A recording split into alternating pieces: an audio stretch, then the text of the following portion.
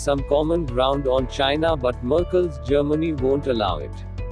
With Chinese aggression taking grip of the entire Indo-Pacific, Washington is feeling compelled to find some kind of common ground with Russia and chase China out with all its vigor.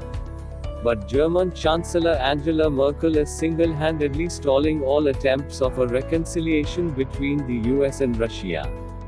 The leadership in Germany believes it stands to gain out a US-Russia confrontation and is, therefore, making all attempts to project Moscow as the main enemy of the democratic world order. Berlin has now rejected a proposal made by the US President Donald Trump to allow Russia back into the group of seven, G7 countries, a group of the world's most advanced economies. German Foreign Minister Heiko Maas told Rheinische Post, a leading Germany daily, the reason for Russia's exclusion was the annexation of Crimea and intervention in eastern Ukraine. He added, as long as we do not have a solution there, I see no chance for this. In fact, Germany is trying to stall the proposal of an expanded G7 itself. Trump wants to widen the G7 itself by including more countries like South Korea, India, and Australia, and if possible, Russia also. The US president wants to isolate China by bringing all global powers under an umbrella organization. However, Germany has objected. The German Foreign Minister Maas also said that G7 and G20 are two sensibly coordinated organizations, and that G20 already includes Russia. The minister added, We don't need G11 or G12. This is hardly the first time that Germany has tried to antagonize Russia in the Western world. Only last month, Merkel had announced that the European Union EU leaders have decided to extend the Crimea related sanctions on Russia by a further six months.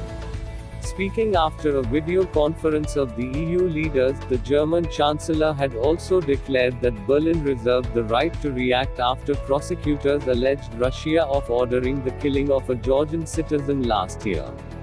Merkel is weaponizing her position as the de facto EU head to impose tough sanctions on Russia over the Crimea episode of 2014.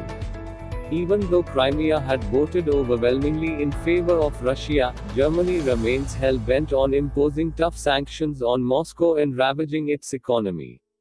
Merkel knows that the Atlantic and the European Union will remain relevant as long as Russia is viewed as the main rival of the Western world and this is why she wants to antagonize Russia. Germany is also making it a point to put hurdles in the Indo-Pacific tilt of the American foreign policy and military doctrine. But Merkel isn't just averting a US-Russia reconciliation, she also wants the best of both worlds.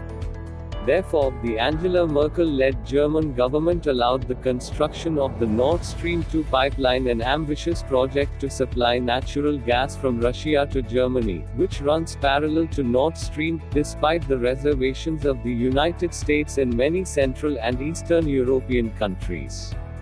Many countries including Poland and the Baltic republics of Latvia, Lithuania and Estonia, which are members of the European Union, opposed the construction of the pipeline given its geostrategic advantage to Russia. In fact, the pipeline project would make Germany completely dependent on Russia for its energy resources. 40% of Europe's energy supplies are already controlled by Russia, which can be used as a strategic advantage, and this project would further the reliance on Russia, the same country that the German led European Union advocates sanctioning over several matters.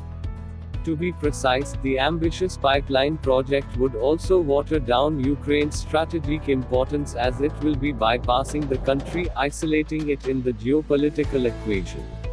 On one hand, Merkel wants to help Ukraine by sanctioning Russia for the Crimea invasion of 2014, but on the other hand, she is also sidelining Ukraine when it comes to German business interests in Russia. Merkel's end motive is to manipulate American foreign policy in such a way that the US and Russia keep fighting over anachronistic issues, and Germany keeps gaining out of it. At the same time, Merkel wants to divert attention from her country's biggest trade partner China. This is why German ministers want sanctions on Russia, but claim that China cannot be sanctioned over lack of transparency.